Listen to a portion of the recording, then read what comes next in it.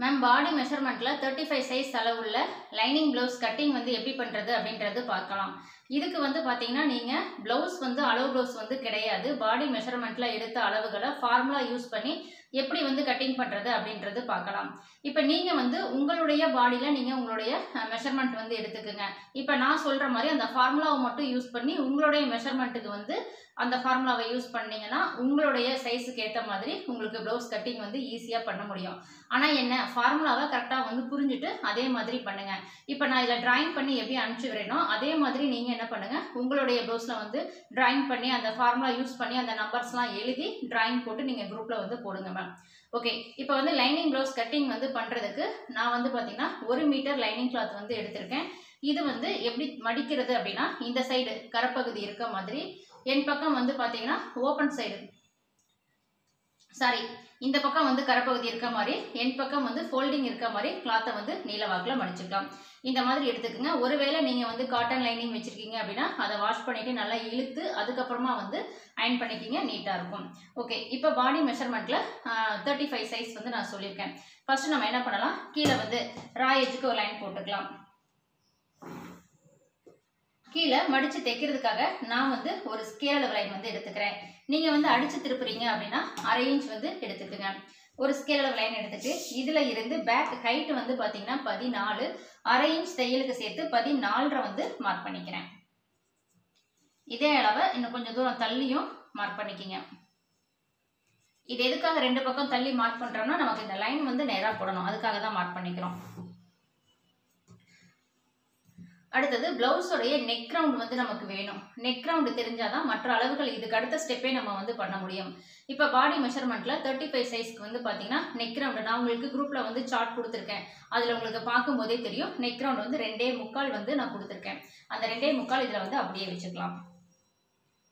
இந்த ஃபோல்டிங்ல இருந்து நான் ரெண்டே முக்கால் வந்து எடுத்துக்கிட்டேன். அதுக்கப்புறம் ஷோல்டர் வந்து பார்த்தீங்கன்னா நான் பாடியில் எடுத்த ஷோல்டர் வந்து பார்த்தீங்கன்னா ரெண்டே கால் ப்ளஸ் முக்கால் இன்ச் தையலுக்கு சேர்த்து மூணு இன்ச் வந்து மார்க் பண்ணிக்கிறேன்.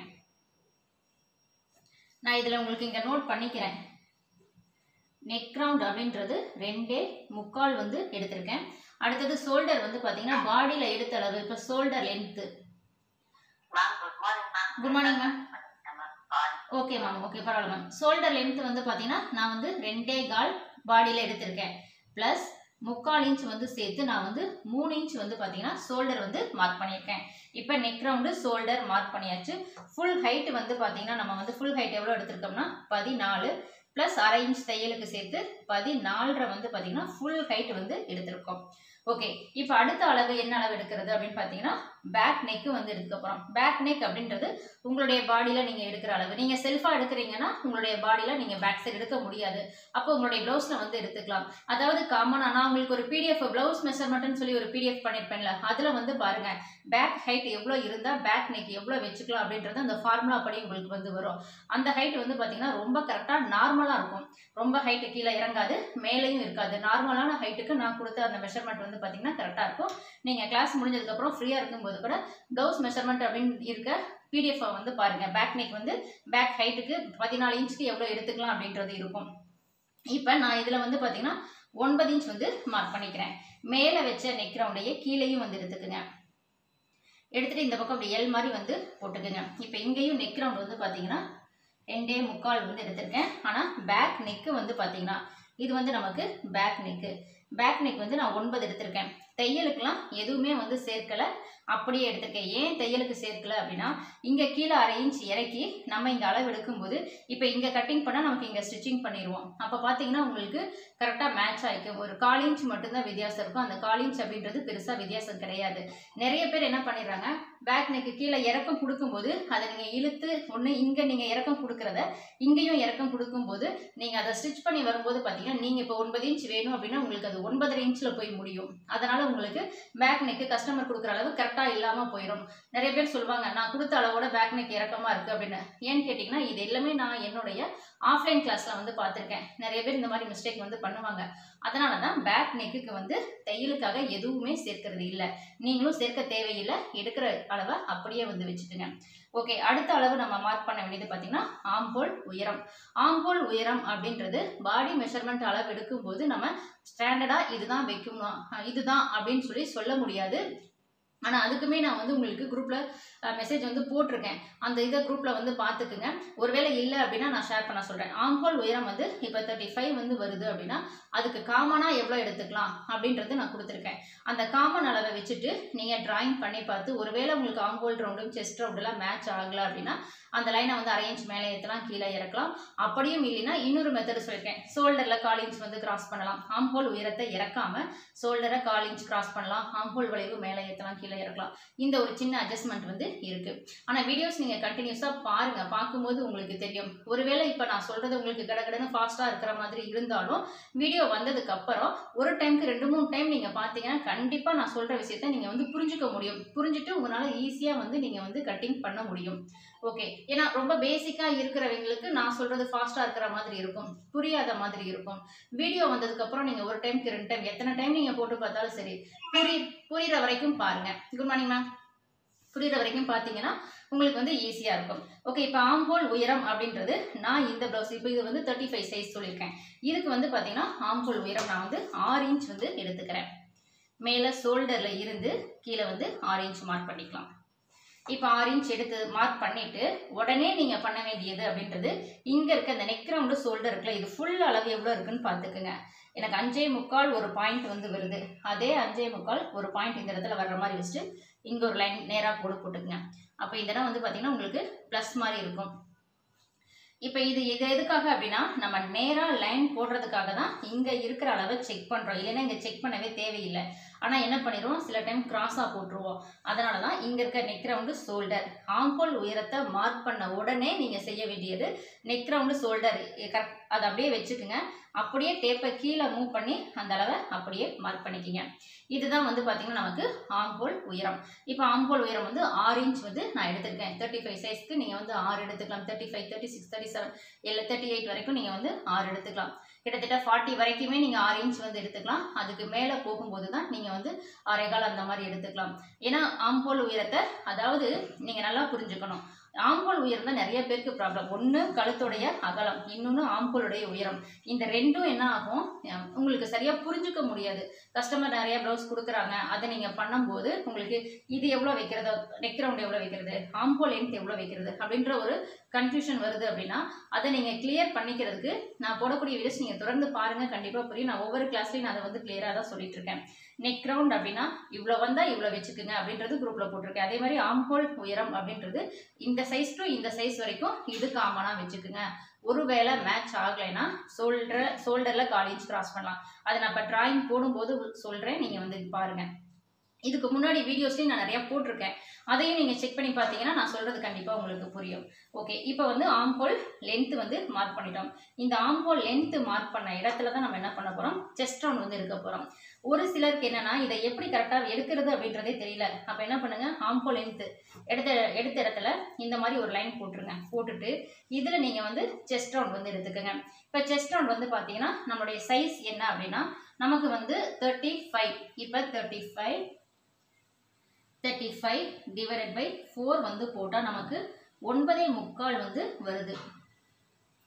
ஒன்பதே முக்கால் வந்து இந்த சைஸோடைய செஸ்ட் ரவுண்ட் வந்து வருது. ப்ளஸ் ஒரு இன்ச் வந்து பார்த்தீங்கன்னா ஃபார்முலா சேர்க்கணும். அதை சேர்த்தா நமக்கு எவ்வளோ வரும்? சாரி எட்டே முக்கால் வந்து வரும். Thirty five divided by four வந்து போட்டால் எட்டே முக்கால். ப்ளஸ் ஒரு இன்ச் வந்து ஃபார்முலா சேர்த்தா நமக்கு வந்து ஒன்பதே முக்கால் வந்து செஸ்ட் ரவுண்ட் வந்து எடுத்துக்கிறோம். ப்ளஸ் அது கூட ஒன்றரை இன்ச் வந்து தையலுக்காக எடுத்துக்கிறோம். இப்போ thirty five divided by four போட்டால் நமக்கு எட்டே முக்கால் வருது ப்ளஸ் ஒன் இன்ச்சு சேர்த்துனா ஒன்பதே முக்கால் ப்ளஸ் அது கூட ஒன்றரை இன்ச் இதுதான் வந்து நம்ம தையலுக்காக விடுற அளவு. இதே மாதிரி நீங்கள் வந்து ஒவ்வொருத்தரும் உங்களுடைய பேக் டிராயிங் பண்ணிவிட்டு இந்த மெஷர்மெண்ட்டோட எனக்கு வந்து குரூப்பில் போடுங்க. இப்போ நமக்கு எவ்வளோ அளவு தேவை? ஒன்பதே முக்கால் அப்படின்றது இந்த ப்ளவுஸோடைய சரியான செஸ்ட் ரவுண்டு அதுக்கப்புறம் இந்த ஒன்றரை இன்ச் தையலுக்கு எடுத்துக்கிறோம் பாருங்க அதை இந்த சைடில் வந்து மார்க் பண்ணிக்கலாம். இப்போ இங்கே எடுத்த செஸ்ட் ரவுண்ட் இருக்குது பாருங்கள் நீங்கள் அப்படியே டேப்பை கீழே மூவ் பண்ணி இந்த சைடில் வச்சு மார்க் பண்ணிக்கிங்க. ஒன்பதே முக்கால் அதில் இருந்து ஒன்றரை இன்ச் தையலுக்காக மார்க் பண்ணிக்கிங்க. இந்த மாதிரி மார்க் பண்ணிவிட்டு அதுக்கப்புறம் லைன் வந்து போட்டுக்குங்க. ஏன்னா நீங்கள் ஒவ்வொன்றுக்கும் ஒவ்வொன்றா மார்க் பண்ணிவிட்டு லைன் போட்டிங்கன்னா உங்களுக்கு டைமும் அதிகமாகும். ரெண்டாவது நீங்கள் கன்ஃபியூஸ் ஆயிரும். அதனால் ஃபஸ்ட்டு அளவெல்லாம் மார்க் பண்ணிவிட்டு அதுக்கப்புறம் நீங்கள் லைன் போட்டிங்கன்னா ஈஸியாக உங்களால் வந்து பண்ண முடியும். ஓகே இப்போ நம்ம எல்லா அளவும் வந்து மார்க் பண்ணிட்டோம். இப்போ இன்னும் சிலருக்கு சில டவுட் இருக்குது அதாவது செஸ்ட் ரவுண்டு ஒன்பதே முக்கால் வைக்கிறீங்க ஓகே கீழே வந்து இடுப்பு சுற்றளவு தானே வைக்கணும். எதுக்காக செஸ்ட் ரவுண்டு அப்படியே கீழே இற- இறக்குறீங்கன்னு சொல்லி கேட்டிங்கன்னா இப்போ நான் அதில் உங்களுக்கு டிராயிங்கில் போட்டு காமிக்கிறேன். நம்ம பேக் சைடு வந்து பார்த்தீங்கன்னா கட் பண்ணி இதை பேஸ் பண்ணி தான் ஃப்ரண்ட்டு வந்து கட் பண்ணுவோம். அப்போ என்ன ஆகும்? ஃப்ரண்ட்டு கட் பண்ணும்போது ஆம்போல் சைடில் ஒரு அரை இன்ச் விடணும். இந்த சைடில் வந்து பார்த்தீங்கன்னா நம்ம இந்த பக்கம் டாட் பிடிப்போம்ல ஃப்ரண்ட்டில் அதுக்காக இந்த சைடில் ஒரு இன்ச்சு முக்கால் இன்ச்சு ஒன்றரை இன்ச்சு இந்த மாதிரி வந்து தையலுக்கு இப்படி கிராஸாக லைன் வந்து போடணும். அந்த லைன் நீங்கள் இங்கே எவ்வளோ எடுக்கணும் அப்படின்றது ஒவ்வொரு சைஸ்க்கும் உங்களுக்கு தெரியாமல் போயிடும் அதுக்காக தான் நான் வந்து ரொம்ப ஈஸியாக எப்படி சொல்கிறேன்னா செஸ்ட் ரவுண்டை நீங்கள் கீழே மார்க் பண்ணுங்கள் உங்கள் பாடிக்கு தேவையான அந்த டாட்டு கப்போடைய டாட்டோடைய துணி வந்து பார்த்தீங்கன்னா உங்களுக்கு பேக் பீஸ்லேயே கிடைச்சிரும். நீங்கள் இதை கரெக்டான அளவுக்கு லைன் போட்டு கட் பண்ணிட்டீங்க அப்படின்னா அப்போ உங்களுக்கு என்ன ஆகும்? நீங்கள் ஃப்ரண்ட்டு கட் பண்ணும்போது அது தனியாக டிராயிங் வந்து பண்ணணும். அதனால தான் நான் வந்து அந்த ஏன்னா அது ஒரு சிலருக்கு புரியாது. இந்த சைடில் எவ்வளோ துணி விடணும்னு புரியாமல் மறுபடியும் நீங்கள் கன்ஃபியூஸ் ஆயிடுவீங்க. கரெக்டாக பண்ண முடியாது. ஒருவேளை துணி எச்சா விட்டுட்டீங்க அப்படின்னா உங்களுக்கு கப்பு வந்து லூஸாக இருக்கும். கம்மியாக விட்டிங்கன்னா கப்பு வந்து டைட் ஆகி அது அமுத்துற மாதிரி உங்களுக்கு வந்து நீட்டாக இருக்காது. அதனால தான் பேக்கோடைய செஸ்ட் ரவுண்டை அப்படியே கீழே வைங்க. உங்கள் கப்புக்கு தேவையான டாட்டோடைய துணி வந்து அப்படியே உங்களுக்கு இதில் வந்து இருக்கும். ஓகே மேம் ஓகே மேம் இப்போ நான் சொன்னது உங்களுக்கு கண்டிப்பாக புரிஞ்சு புரிஞ்சிருக்கும்னு நினைக்கிறேன். ஏன்னா செஸ்ட் ரவுண்டை ஏன் கீழே வைக்கிறோம் அப்படின்ற அந்த விளக்கம் வந்து நான் கொடுத்துட்டேன். அப்படி வைக்கும்போது தான் உங்களுக்கு வந்து பார்த்தீங்கன்னா கரெக்டாக இருக்கும். இப்போ நம்ம வந்து இது வந்து பார்த்தீங்கன்னா செஸ்ட் ரவுண்டு சிஆர் அப்படின்றது எழுதிக்கிறேன். இது வந்து நமக்கு செஸ்ட் ரவுண்டு அடுத்தது பார்த்தீங்கன்னா வேஸ்ட் ரவுண்ட் வந்து நம்ம எவ்வளோ எடுத்துக்கிறது அப்படின்னா இப்போ இந்த ப்ளவுஸோடைய வேஸ்ட் ரவுண்ட் இருக்குது அதை கரெக்டாக வச்சு நான் மார்க் பண்ணுறேன் எதுக்காகனா டாட் இப்பயே மார்க் பண்ணி வச்சிட்டோம்னா புதுசாக தைக்கிறவங்களுக்கு கொஞ்சம் ஈஸியாக இருக்கும். அதனால் டாட்டை மட்டும் நம்ம இதில் வந்து ஃபஸ்ட்டு மார்க் பண்ணிக்கலாம். இப்போ வேஸ்ட் வந்து பார்த்தீங்கன்னா முப்பது. முப்பது டிவைட் பை ஃபோர் வந்து போடுறோம். இது வந்து பார்த்தீங்கன்னா வேஸ்ட் ரவுண்டு வேஸ்ட் ரவுண்டு வந்து முப்பது டிவைட் பை ஃபோர் வந்து போட்டோம்னா நமக்கு ஏழரை வந்து வருது. ஏழரைல பேக் லென்த்துக்காக நம்ம வந்து பேக் ரவுண்டு அதாவது இடுப்பு சுற்றுலா அந்த பேக் ரவுண்டுக்காக நம்ம எவ்வளோ எடுத்துக்கிறோம்னா எட்டரை கூட அரை இன்ச் எக்ஸ்ட்ரா சேர்த்து நான் ஏழரை கூட ஏழரை வந்திருக்கு நமக்கு. முப்பது டிவைட் பை ஃபோர் வந்து போட்டோம்னா நமக்கு ஏழரை வருது. ஏழரை கூட அரை இன்ச் எக்ஸ்ட்ரா சேர்த்து இடுப்புடைய இடுப்பு சுற்றளவுக்காக வந்து பார்த்தீங்கன்னா நான் எட்டு இன்ச் வந்து எடுத்துக்கிறேன். அதுவே பட்டி சுற்றளவுக்காக. இது வந்து ஃப்ரண்ட் ரவுண்டுக்காக ஃப்ரண்ட் ரவுண்டுக்காக வந்து பார்த்தீங்கன்னா ஏழரை இருக்கு. அரை இன்ச் மைனஸ் பண்ணி நான் ஏழு வந்து எடுத்துக்கிறேன். இப்போ இந்த ஏழையும் எட்டையும் நீங்கள் வந்து கூட்டினீங்கன்னா உங்களுக்கு டோட்டலாக வந்து பார்த்தீங்கன்னா முப்பது வந்து வரணும். இப்போ எட்டு எயிட் ப்ளஸ் எயிட் வந்து பார்த்தீங்கன்னா உங்களுக்கு சிக்ஸ்டீன் வந்து வரும். இது வந்து நமக்கு ஃபோர்டீன் வந்து வரும். இது ரெண்டையும் ஆட் பண்ணும்போது நமக்கு வந்து டோட்டலாக முப்பது வந்து வரணும் வேஸ்ட் ரவுண்டு இதுதான் இந்த இடுப்பு சுற்றளவுடைய ஃபார்முலா ஏன்னு கேட்டிங்கன்னா பாடி மெஷர்மெண்ட் அளவெடுக்கும் போது உங்களுக்கு ப்ளவுஸ் கிடையாது. அப்போ எல்லா அளவும் கரெக்டாக நீங்கள் எப்படி கடைசி வரைக்கும் இந்த ப்ளவுஸை தைச்சு முடிக்கணும் அப்படிங்கிறதுக்கு எல்லாமே அளவு இருக்குது அந்த அளவுப்படி பண்ணால் தான் உங்களுக்கு வந்து கரெக்டாக வரும். ஓகே நான் மறுபடியும் இப்போ இடுப்பு சுற்றுலாவை இன்னொரு டைம் வந்து சொல்லிடுறேன் இடுப்பு சுற்று அதாவது வேஸ்ட் ரவுண்ட் வந்து பார்த்தீங்கன்னா முப்பது வகுத்தல் நாலு போடுறோம். நமக்கு ஏழரை வந்து வருது. ஏழரை வந்து வருது. நம்மளுடைய பேக் ரவுண்ட் அதாவது பேக் ரவுண்ட் அப்படிங்கிறது வந்து பார்த்தீங்கன்னா இடுப்பு சுற்றளவு இல்லைன்னா வேஸ்ட் ரவுண்டு பேக் சைடுக்கு வரக்கூடிய இடுப்பு சுற்றளவு இதில் ஏழரைலேருந்து அரை இன்ச் வந்து நான் எக்ஸ்ட்ரா சேர்த்து எட்டு வந்து எடுத்திருக்கேன். அதே இது ஃப்ரண்ட்டு நமக்கு வந்து பார்த்தீங்கன்னா இது வந்து ஃப்ரண்ட் எஃப் போட்டிருக்கேன். எஃப் ரவுண்ட் அதாவது ஃப்ரண்ட்டில் வரக்கூடிய பட்டி ரவுண்டுக்காக வந்து பார்த்தீங்கன்னா ஏழரை இன்ச்சில் இருந்து அரை இன்ச் மைனஸ் பண்ணி ஏழு இன்ச் வந்து எடுத்திருக்கேன். இந்த ரெண்டு தொகையும் நீங்கள் கூட்டு தொகையாக போடும்போது உங்களுக்கு முப்பது வரணும். இப்போ எட்டுனா எட்டு ப்ளஸ் எட்டு பதினாறு. ஏழுனா ஏழு ப்ளஸ் ஏழு பதினாலு. இப்போ இந்த பதினாறு பதினாலையும் கூட்டினீங்கன்னா உங்களுக்கு முப்பது வந்து வரணும். அப்போ இந்த முப்பது அப்படின்றது கரெக்டான இடுப்பு சுற்றளவுக்கு நமக்கு வந்து மேட்ச் ஆயிடுச்சு. இதுதான் அதனுடைய இடுப்பு சுற்றளவுடைய ஃபார்முலா ஓகே இப்போ இது வந்து பார்த்தீங்கன்னா நான் அரை இன்ச் வந்து மைனஸ் பண்ணியிருக்கேன் இன்னும் ஒரு சில டைம் வந்து பார்த்தீங்கன்னா ஒரு இன்ச் வந்து மைனஸ் பண்ணலாம். அப்போ ஏழரைனா இங்கே வந்து எட்டரையா வந்து வரும். அதே மாதிரி இங்கே ஏ இங்கே ஏழரை அப்படின்னா இங்கே வந்து ஆறரையா வரும். அந்த மாதிரி வைக்கும்போது ஒரு இன்ச் வந்து மைனஸ் ஆகும். ரெண்டு டைப்பில் நீங்கள் வந்து பண்ணலாம். இடுப்பு சுற்றளவை. அதாவது அரை இன்ச் வந்து மைனஸ் பண்ணலாம். அப்படி இல்லைன்னா ஒரு இன்ச் வந்து மைனஸ் பண்ணலாம். ரெண்டுமே கரெக்டாக தான் வந்து இருக்கும். இன்னும் ஒரு சில ஒரு சில டைம் உங்களுடைய கஸ்டமர் வந்து இல்லை நீங்களே உங்கள் ப்ளவுஸில் போட்டு பார்க்குறீங்க அப்படின்னா உங்களுக்கு அரை இன்ச் மைனஸ் பண்ணும்போது ஒரு மாதிரி கப்பெல்லாம் இழுத்து குடிக்கிற மாதிரி அந்த மாதிரி ஒரு ஃபீல் ஆகுது அப்படின்னா நீங்கள் ஒரு இன்ச் வந்து மைனஸ் பண்ணி ஃப்ரண்ட் பேக்கையும் போட்டு பாருங்கள் ஏன்னா சைஸ் வந்து தேர்ட்டி ஃபைவாக இருக்கலாம். ஒவ்வொருத்தருடைய பாடி அமைப்பு ஒவ்வொரு மாதிரி இருக்கும். அதனால் இந்த ரெண்டு டிஃப்ரெண்ட் வந்து வரும். ஓகே அடுத்தது பேக் நெக் வந்து பார்த்தீங்கன்னா ரவுண்ட் நெக் தான். இதை நான் அப்படியே வந்து ரவுண்ட் பண்ணிடுறேன். ஆம்கோல் ரவுண்டும் சீடியை வச்சு ரவுண்ட் பண்ணிக்கலாம்.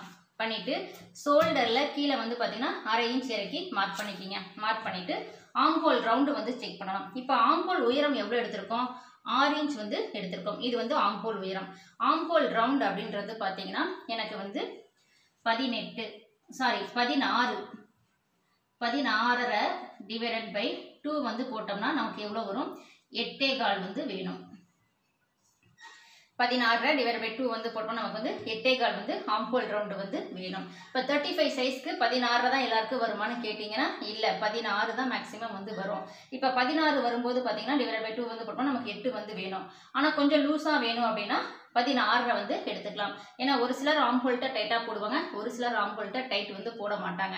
அந்த மாதிரி டைட் வந்து நீங்கள் போட மாட்டீங்க அப்படின்னா அப்போ நீங்கள் வந்து ஒரு கால் இன்ச் வந்து லூஸ் வந்து விட்டுக்கலாம். கால் இன்ச் லூஸ் விடுறதுனால ரொம்ப உங்களுக்கு வித்தியாசம் வந்து வராது. ஓகே இப்போ ஆம்போல் ரவுண்டு வந்து நம்ம செக் பண்ணி பார்க்கலாம். நமக்கு வந்து எட்டே கால் வருதா அப்படின்றது. கிட்டத்தட்ட மூன்றரை இன்ச் வரைக்கும் நேராக வருது. நாலு அஞ்சு ஆறு ஏழு எட்டு எனக்கு வந்து பார்த்தீங்கன்னா ஒன்பது இன்ச் வந்து வருது.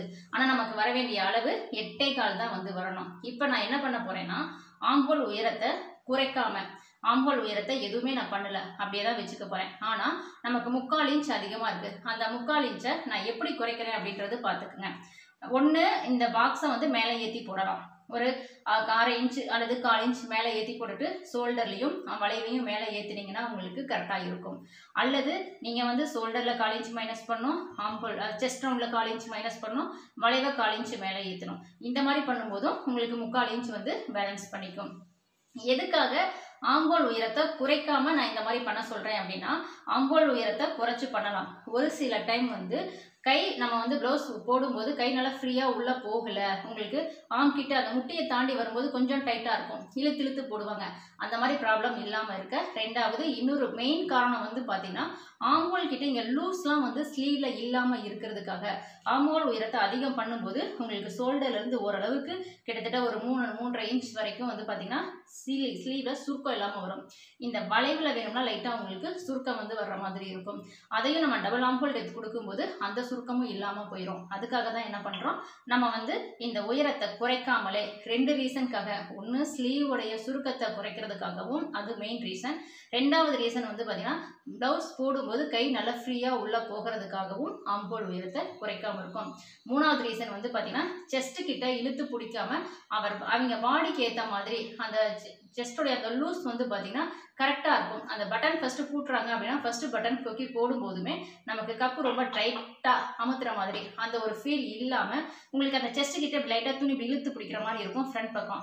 அந்த இதெல்லாம் இல்லாமல் இருக்கிறதுக்காக தான் ஆம்போல் உயரத்தை குறைக்காமல் வந்து பண்ண போகிறோம் ஓகே இப்போ ஆம்போல் எனக்கு முக்கால் இன்ச் வந்து அதிகமாக இருக்குது முக்கால் இன்ச்சை நான் எப்படியெல்லாம் குறைக்கிறேன் அப்படின்றது பார்த்துக்குங்க இப்போ வந்து பார்த்தீங்கன்னா ஃபஸ்ட்டு ஒரு கால் இன்ச் நான் என்ன பண்ணுறேன் இந்த சைடில் கிராஸ் எடுத்துக்கிறேன். ஷோல்டரில் ஷோல்டரில் ஒரு கால் இன்ச் வந்து ஃபஸ்ட்டு கிராஸ் பண்ணிட்டேன். அடுத்தது பார்த்தீங்கன்னா ஆங்கோல் லைனை வந்து ஒரு கால் இன்ச் மேலே ஏற்றுறதுனா ஏற்றிக்கலாம் நான் அப்படி பண்ணலை.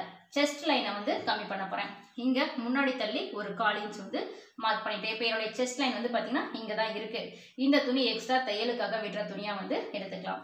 இப்போ இந்த வளைவில் வந்து பார்த்தீங்கன்னா ஒரு கால் இன்ச் வந்து மேலே ஏற்ற போகிறேன் அப்படியே டாட் மாதிரி மட்டும் போட்டு காமிக்கிறேன். அவ்வளோதான் இங்கே ஒரு கால் இன்ச் வந்து நான் மேலே ஏற்றிட்டேன் இப்போ நல்லா நோட் பண்ணிக்கிங்க. ஷோல்டரில் கால் இன்ச் போயிடுச்சு ஆம்போல் வளைவில் கால் இன்ச் போயிடுச்சு செஸ்ட் ரவுண்டில் கால் இன்ச் போயிடுச்சு அப்போ நமக்கு முக்கால் இன்ச் அதிகமாக இருக்கிறத இந்த மூணு பக்கமும் அட்ஜஸ்ட் பண்ணி நம்ம அந்த முக்கால் இன்ச்சை கம்மி பண்ணிட்டோம். இப்போ நான் செக் அதுக்கப்புறம் இப்போ நான் செக் பண்ணி பார்க்கும்போது பார்த்தீங்கன்னா கரெக்டாக எனக்கு எட்டே கால் வந்து வரும். இப்போ ஷோல்டரில் வந்து பார்த்தீங்கன்னா கால் இன்ச் கிராஸ் பண்ணிட்டோம்ல அதுக்கு கீழே தான் நீங்கள் வந்து ஷோல்டர் ஜாயிண்ட்டுக்காக அரை இன்ச் மார்க் பண்ணணும். இப்போ நான் ஃபஸ்ட்டு போட்டேன்ல அந்த லைன் கிடையாது.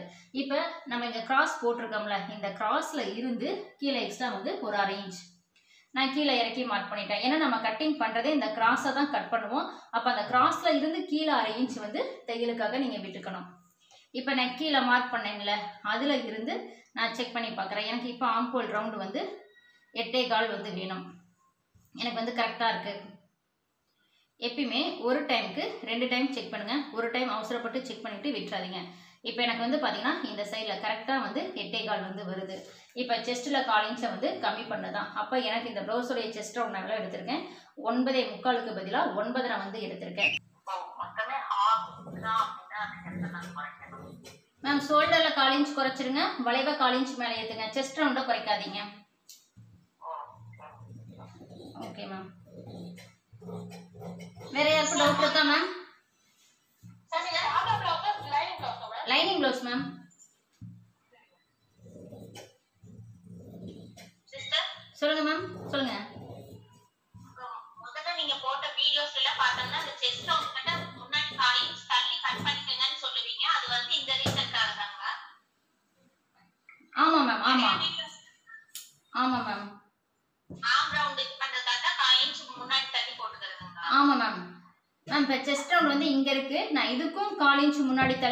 cut வந்து போடுறேன். ஓகே மேம் இப்போ பேக் சைடு வந்து நம்ம கட்டிங் பண்ணிட்டோம். அடுத்தது ஃப்ரண்ட் வந்து கட் பண்ணலாம் ஸ்லீவ் வந்து கட் பண்ணலாம்.